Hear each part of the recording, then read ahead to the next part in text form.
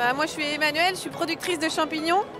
Euh, on a quatre euh, champignonnières, on a une entreprise familiale. On a fait revivre le métier il y a 7 ans euh, en France.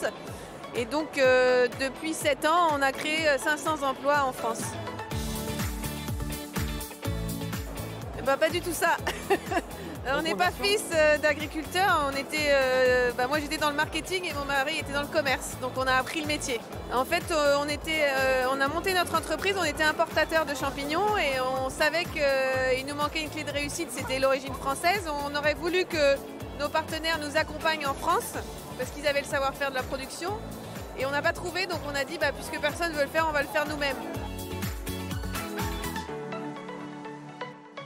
Bah, quand je me lève le matin, euh, je sais que le produit que je vends, c'est un bon produit, euh, que personne ne peut rien lui reprocher, euh, que je crée des emplois, que bah, mon produit va dans toutes les assiettes, qu'il est accessible à tous et qu'il va faire du bien à tout le monde.